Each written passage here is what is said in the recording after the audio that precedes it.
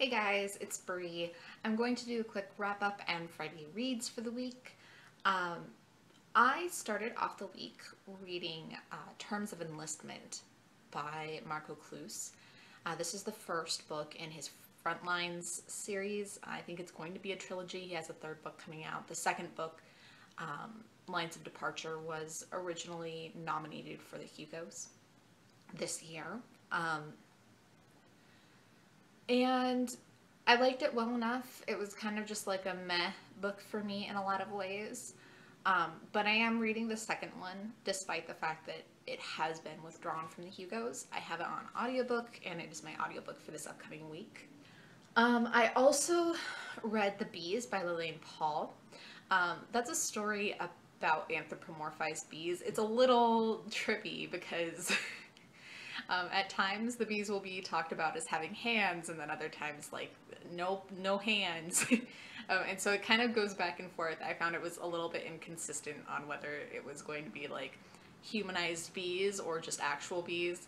Um, but that being said, it was kind of an interesting story. It's about a sanitation bee who has a bunch of mutations and she is actually equipped to do fulfill multiple roles within the beehive um, and about her um, adventures, I guess you could say. It, it was interesting. Perhaps not my favorite read, but definitely, um, definitely interesting. Um, I picked up The Causal Angel. That's this bad boy. I would show you the other two, but I got them from the library and I already returned them. Um, Causal Angel is by Hannu Rajaniemi. It is the follow-up to The Quantum Thief and The Fractal Prince, which I loved. Um, Causal Angel was by no means a letdown. It was absolutely fantastic. Um, one of my favorite books so far this year. And Hannu Rajaniemi does that same awesome world building and complex plot development and character development and just, I liked it. I liked it a lot. Um, then I read Hannu Rajaniemi's collected fiction. Um, it's something that I got as an ARC on uh, Kindle. And it is a collection of Rajaniemi short stories. Um, it was a lot of fun to read the two of these in really close succession. Um, and it, it's interesting to kind of see some of the thought bubbles um, in Rajaniemi's work. I hope that some of those stories he eventually turns into full-length novels, I will say that. Um, I don't know exactly when Rajaniemi collected fiction is coming out, but I would say that when it is out, if you are interested in Rajaniemi's work without jumping full force into uh, the Quantum Thief, which can be kind of a little bit of an overwhelming story, that that would be a good place to start. I then read The Strange Library by uh, Haruki Murakami. This was an interesting book. It's super short. Um, that's another one I was reading on Kindle. And it is about a young boy who goes to a library, and it's kind of a fairy tale-like story um, that I think plays off of the idea of multiple intersecting universes. Um, definitely strange. um, enjoyable, yes, but strange. Um, so that leaves me with what I'm reading now, which is uh, Unseemly Science by Rod Duncan. Last week I read uh, the first book in this series, which is called The uh, Fall of the Gaslit Empire, um, and that is The Bullet Catcher's Daughter. I got the second book as an arc off of NetGalley and I'm reading it now and liking it pretty much just as much as I like the first one. Again, it's the kind of story that's not like fantastic and, you know, totally eloquent language, but it's really fun um, with some really interesting themes woven in. And then I am going to be picking up Inda by Sherwood Smith today. I have been looking forward to this one all week. um, granted, I got distracted by some other stuff, um, but I'm excited to finally be picking it up.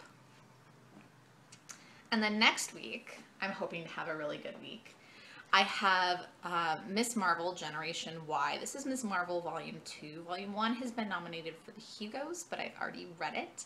Um, and so I'm going to be reading number 2. I really did like the first volume. And then I have Rat Queens Volume 1. This has also been nominated for the Hugos, and I haven't actually picked this up before. Um, but I, I like the sound of it, and I think some of the artwork looks really interesting.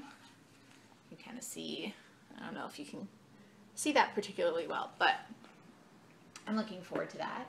And as far as novels, I am going to be picking up The Girl with All the Gifts. This is by M.R. Carey. And um, this one has been, I think this is a an Arthur C. Clarke Award nominee. It, it's award season, you know. Um, it says every morning Melanie waits for her cell to be in her cell to be collected for class. When they come for her, Sergeant Parks keeps his gun pointing at her while two of his people strap her into the wheelchair. She thinks they don't like her. She jokes that she won't bite, but they don't laugh. Um, this is one that's gotten a lot of play on the YA circuit, um, but I am interested. It is blurbed by Joss Whedon and it has a pretty good io9.com uh, .com rating, so that's always a good sign. Um, so I will be picking up this. And then I will be picking up Rocket Boys. Um, This is the uh, memoir off of which October Sky was based. I haven't watched October Sky, um, but it is about engineers in the 60s and the NASA program, which, the NASA program, how can you not just want to eat all of that up? Um, so that is my week. Um, I already mentioned that I am uh, listening to Lines of Departure by Marko Kloos on uh, audiobook and like I said, it's kind of okay so far. We'll see how I like it towards the end. It's an improvement on the first one, but the first one needed a lot of improvement as far as I was concerned. Um, and so we'll see. It looks like a good week for me. I'm, I'm feeling good about it. Uh, let me know what you think if you've read any of these books. Uh, and I will talk to you later. Have a great weekend. Bye.